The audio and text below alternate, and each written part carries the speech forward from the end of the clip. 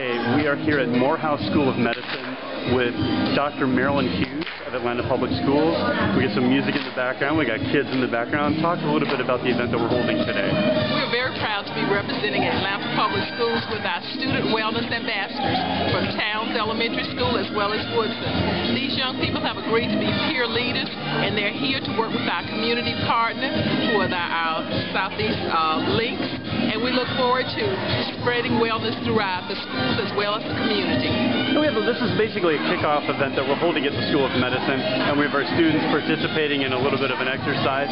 Talk about the partnership with the Links uh, and what they hope to do with, I believe they're setting up a commission, they're starting some wellness efforts, and how do you see Atlanta Public Schools participating in it? I see Atlanta Public Schools being a part of the community approach. With these community partners, we can take what we have taught the students in the school and carry that to our community. And we look forward, particularly with our elementary school students, to engaging parents a lot more in that community work.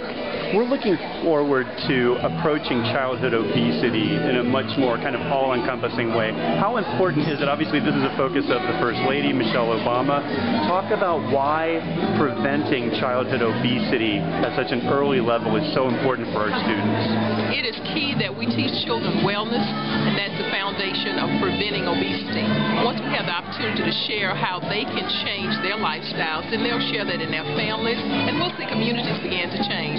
First of all, we know learning about nutrition when you're very young is important, but the other side is we know that's the best time to learn about physical fitness. As you can see from our students yeah. today, they're sharing that. They're learning it. And also, we emphasize the natural foods, so we encourage school gardens and community gardens.